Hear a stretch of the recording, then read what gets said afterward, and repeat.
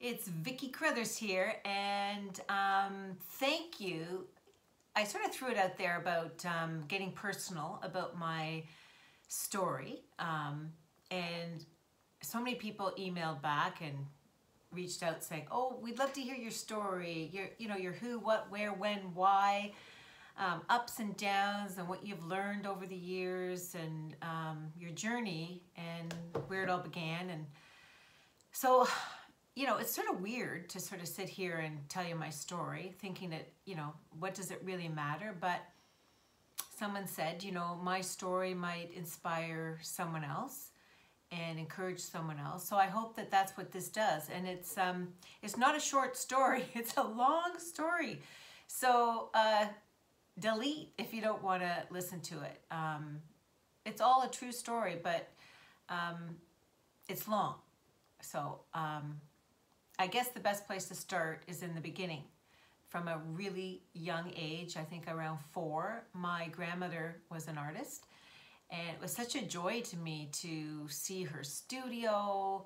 And I don't know uh, about other artists out there, but I get so excited about brushes and paints and paper and sketchbooks. And I could spend hours in an art store. It's just like, I, I just can't get enough. But it was a wonderful time where she would give us at Christmas time these big bags from Simpsons full of fun stuff. And I think there's 12 cousins and we all got a bag and my bag had art supplies in it. As I remember, I got charcoal and watercolor and brushes and a sketch pad.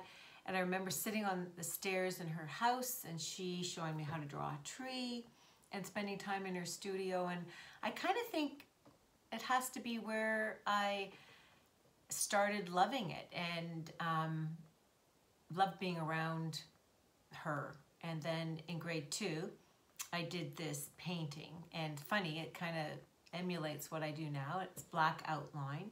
Like, you know, when you're back then as a kid, you did these black, you know, marker outlines and then you had to color the shapes in with different colors. And surprise, surprise, when I finished my piece, there was a bird in the middle of my painting. Like it was like magic and I think it's just where the shapes landed. So um, a bit of a mistake maybe. And um, the way I colored them in, the bird stood out. The principal loved it. He framed it and hung it in his office. True story.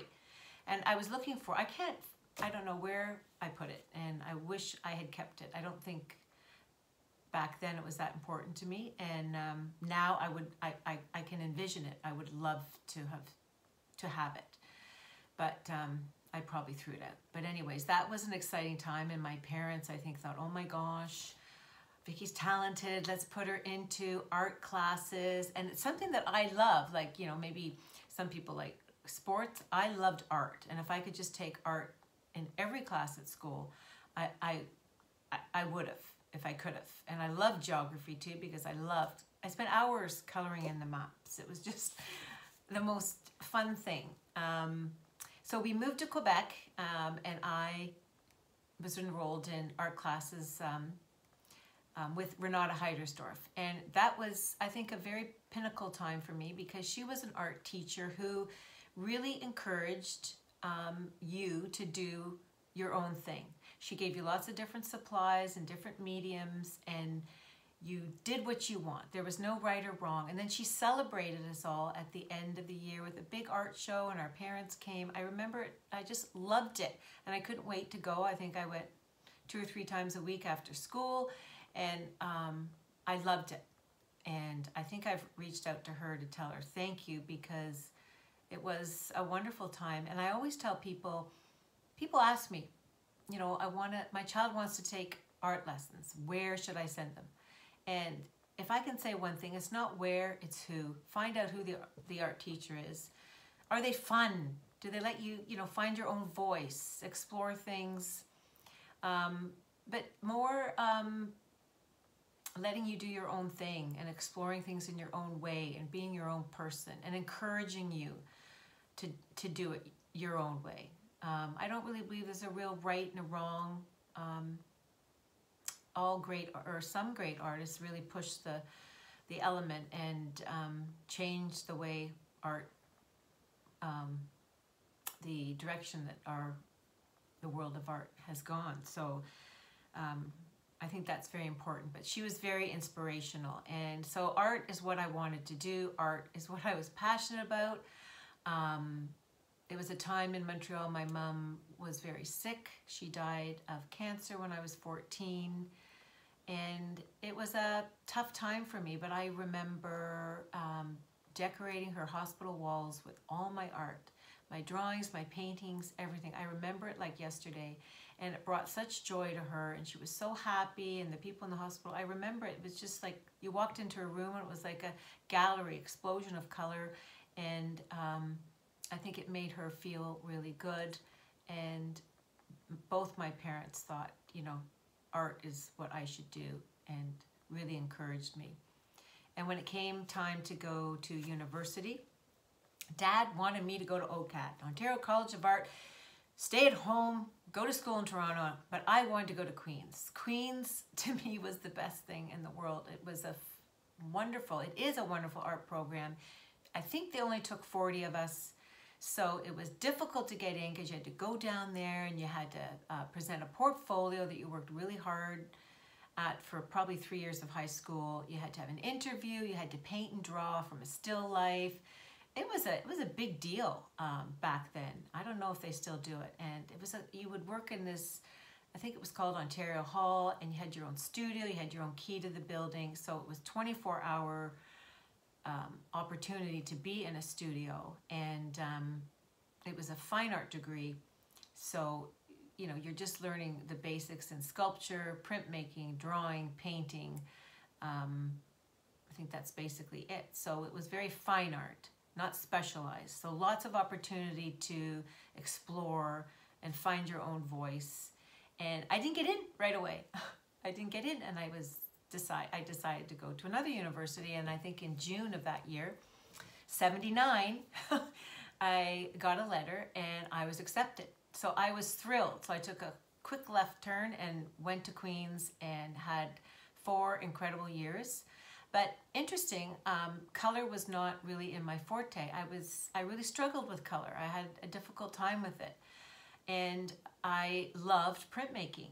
And I um, majored in lithography, which is a form of printmaking, and I found it so exciting because it was such a surprise when you ran your art through the press. You didn't know exactly what you were going to get at the end, and sometimes there were fabulous mistakes that would happen.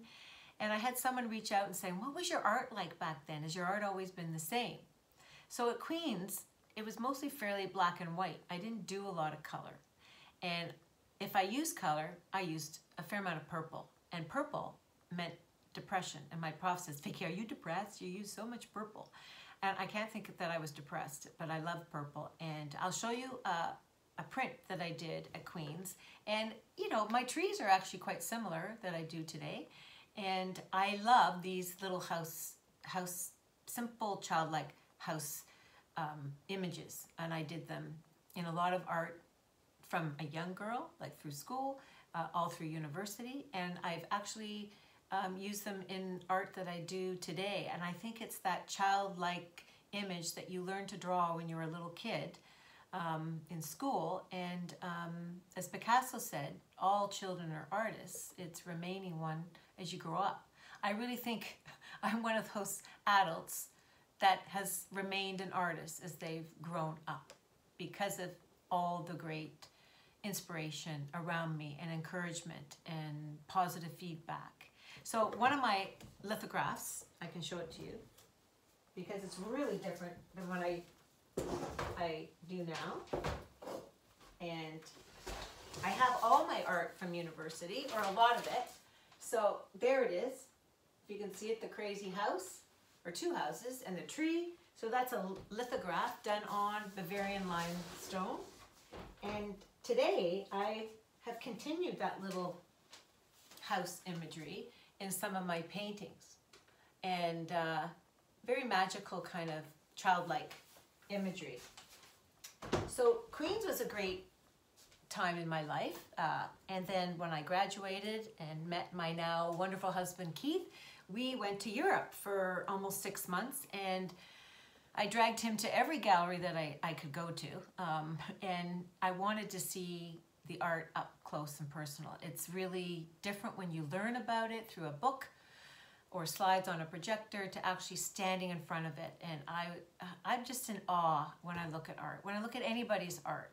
And I think it's important for all of us to take the time to look and enjoy art. But, you know, Picasso is one of my favorites. And Matisse, the color in Matisse. And Chagall, I love Chagall. And uh, I could just go on and on, just the Impressionist period. Um, so I got to see it all up close and it was um, remarkable for me, it, very exciting. And when I came back, I had to get a job. and I think being an artist back then um, just wasn't going to work for me. I, I had to make some money. And so I got a job, a great job at Simpsons, which is now the Bay at um, Queen and Yonge downtown. But I got a job designing the Simpsons windows, which was absolutely magical for me because each window was like a canvas. Um, the seventh floor at that time was a studio. So as the window de designers, we would spend hours up on the seventh floor designing, painting our backdrops, uh, building our props, like that mechanical corner window took us three weeks to create and install and it was magic when we opened the drapes and everyone came from all over during the Santa Claus parade to see it. And every window, like whether you did pots and pans or mannequins or suitcases or whatever it was, it was just, it was just an exciting opportunity to learn design, shape, color, and your window had to be impeccably clean and organized. They would check on it when you, after you installed it, that, that there wasn't a thread hanging, there wasn't a piece of dirt on the floor. So, you know, I really learned to be organized, um, controlled kind of graphic kind of style to keep everything in its proper place. And after that opportunity, I had a cool opportunity where I worked with Jim Henson, and he had a retail um, line of stores in Toronto called Muppet Stuff. Actually, they were all over Canada, and I got the job to do the design and display of the merchandise inside the store. So, what better thing could a job be where I got to play with Kermit the Frog, Ernie and Bert, um, Cookie Monster, Big Bird, uh, uh, you name it, and create displays and window designs. And uh, it was so much fun and I loved it. And it was all about color. Um, so, you know, sometimes when I think about where I am today, I think my career today is um, an accumulation of all my life experiences. Like, I don't think I could actually be here today if I didn't have all these past opportunities to learn and um, be inspired by so many different forms of art. And when I had my three beautiful daughters living in Aurora, of course, I wanted to help out in the schools and in in basically the art area and they got a hold of the fact that I was an artist or had an art degree and would I come in and help out in the art class. And then uh, at Devins Drive one of the teachers had a great idea to do um, a celebration of the arts where they hired me to come in and teach every single class a different art project and we had a huge uh, Festival of the Arts at the end of the year where every child was celebrated.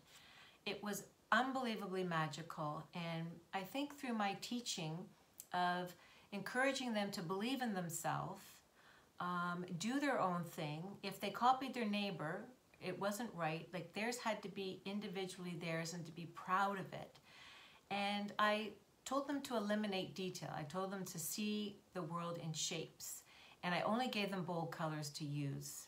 Um, and they had such great success. I have portfolios of all the children's work from kindergarten up to grade eight. I worked in many schools and I also worked at a, an amazing girls camp north of Kingston. Thank you, Lisa Wilson, um, um, Camp Oconto, and I taught for 16 years, um, encourage young girls to believe in themselves and have fun, and we, we draw and paint and hang out and just have a wonderful time. And I think those were great years for me, and looking back, I think seeing the beautiful pieces that the children did really inspired me as an artist. And I um, taught them a lot about landscape and having a cottage up in Georgian Bay and loving the landscape of uh, Georgian Bay, any Ontario Canadian landscape. Um, I, when I got back into doing my own work,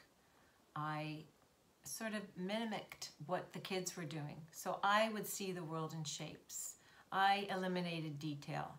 I used my imagination and used all sorts of different colors. And then at one time, I was at McMichael and I didn't know Norval Morrisseau's work and uh, I was there by myself and I went to a, a, show of his work and I stood in a room, I believe I was by myself and I think it was just like unbelievably moving for me to see his colors and the intensity of how they, um, the contrast of the colors and how the energy in his work just like moved me to no end. The reds in my painting, I directly borrowed from him. Um, that's why I started doing red skies. I said, if he can have red skies, I can have red skies. So I share a lot of love for his work and um, I had a lucky little break when I stopped teaching and decided it was my turn, probably about 15 years ago. My dad had passed away and I kind of said, you know, this is my time. I don't want to be 80 and wished I had. I had wanted to be an artist, practicing artist my whole life. And I had all these cool different opportunities, but I felt it's time it's time for me to do my thing. Whatever that thing is, I, just wanted to try to do something and had little tiny shows here and there and um, I had this sort of big break where Al Pace, he's a Canadian um, potter, he has a beautiful gallery up in Orangeville, and he invited me for one of his Christmas shows to be the artist that filled the walls. That his pottery was all in the middle on risers, and he needed an artist to fill up all his wall space. And so I met him. We decided we needed about 36 paintings. I went, oh my gosh, how am I going to get 36 paintings done? But I really focused, and I thought it gave me an opportunity to paint. And um, it was a one weekend show and all of them sold. True story, 36 paintings or more. And thank you to my family and my friends and people I'd never met that bought one. And it wasn't really about the sale of the pieces, it was about people just love them. And um, it just, uh, you know, blew me away. Very humbled about how much joy it brought to people and how they loved the colors and they were just so excited about them. And I got into, not long after that, I got into the One of a Kind Christmas show and totally excited about that. I had my little booth. You know, I had um, tons of work. I worked very hard for this show. It's 11 days and I sold 46 paintings. And I sold 46 paintings to most people I didn't know. And that kind of like, uh, set me on fire in a sense of, you know, I met a lot of people. When I sell a piece of work, um, they get me for life uh, as a friend because I love to know where they are. I love to, you know, the, each art, each painting is like a child to me and they're really important to me and I just love to know that they're in a happy place and and it makes me happy. And um, and over the last 10 years, it's been magical where um, I basically have uh, so much demand for commission pieces. I can't keep up. I'm grateful. Gives me a great opportunity. Thank you, everyone, to paint um, pieces that I might not um, otherwise paint. They give me a photograph of something that they love and they get to choose the sky color and then it's up to me. And no piece is, there's no commitment to any painting. If they don't love it, they can't have it. I want, I don't want anyone hanging a Vicki in their house that they don't love very much. So if they don't want it, no problem. I'll keep it. And um, sometimes they're hard to give away and each one is um, unique and uh, in itself. And that has driven my business to go into uh, the opportunity of prints. I just redid my website last year. I've gone, um, I've in, introduced e-commerce and I offer, right now I think there's about 18 paintings that I offer online in print. And that's been wonderful because it's given the opportunity for so many people to have a Vicki that couldn't have an original. And um, I still work through my originals. Um, and thank you for being so patient, all of you who wait for them. Um, so I appreciate that. And um, so today I'm I have two studios, one at my cottage in Georgian Bay that Keith built for me two years ago. It's spectacular. So I can paint at the cottage where I'm inspired. I get out on my kayak, I do sketching and come back to the studio. And with my now four grandkids, they love to go to Gamma Studio and they paint with. It is, it's marvelous. And I have a great studio here in Aurora and someday when COVID's over, I love visitors. I love people to come and sit with me and chat and have a coffee, have wine and and um, and visit. And I do a couple of workshops every year, which are just fun. Gives opportunity for people to come and explore that creative side that I think a lot of people are just dying to uh, revisit or try or explore. And it's just about having fun. And it's amazing what uh, people have done in these workshops. It's just unbelievable, the art. And I've inspired a lot of schools in teaching kids art. Um, a, wonderful teacher in Nova Scotia that uses my imagery and sends videos from the classroom of all the kids saying, thank you, Vicki. So, you know, um, my work, my life is my work and um, I can't say that I'd be here today if it wasn't for all the amazing opportunities I've had. It's uh, when people say, you know, how, how do you do what you do? I do it because it's just a whole accumulation of all my experiences and uh, and and through teaching and learning and and exploring and um, I totally totally hope I inspire someone because you know someone said that's one reason to share your story because maybe you'll inspire someone else and uh, I love to inspire and share and support everybody who's trying to get into the arts or who just loves the arts and um, someone asked me recently you know, uh, what do you see down the road? What do you see your future? Where do you want to be in 10 years? And, you know, I just, I just love painting. I just feel like, you know, I'm getting older and I've got so many paintings to paint and I feel just not enough time. I just, uh, I finish one and before I finish one, I want to do the other one and I see this and I do that and I have a commission, I want to do this, I want to do that and I, I want to do a outside mural, which might be happening. I'm dying to do a children's book with those crazy little houses and birds and little kids and um, you know that will happen um, I've got to focus on that but I, uh, I hope that I inspire my grandkids to do anything they want to do and believe in themselves and see that their crazy grandma you know has has created um, beautiful art and for the, all the world to enjoy. And I sold one yesterday. It's a, a neat story, a, a, family going through a difficult time. And they, I didn't think I'd sell this piece. I love this piece. It's got a green sky and I've only done maybe three with a green sky. And um, it just made them so happy. And it's so joyful and bright and cheery. And I thought, wow, if that's, if that's the legacy I can leave in this world, that it's a happier place and it makes someone's day uh, special or happy or joy in their life. Um, I can't ask for anything more. And um, someone also asked about all the supplies I use. So I can do a little question and answer online one day, but I have a great studio that I buy all my supplies from in Markham. It's called Studio 6. Tamar is the owner and she can do or get anything for you that you want. She's amazing. She ships and I love her and I couldn't be here without the supplies and I couldn't paint without the great supplies that I use. And I mix all my own colors, crazy colors. I can't even copy a color that I mixed yesterday, so that's what makes them so unique. But um, I don't know if I've covered everyone's questions, but that's a, kind of my story. Um, I'm grateful. Thank you for your patience and waiting for art. Thank you for the love that I get and thank you for enjoying my art, and um, I hope uh, we all get through this and uh, we get together soon. Lots of love and thanks for listening. I know it's long, so I hope you enjoyed it.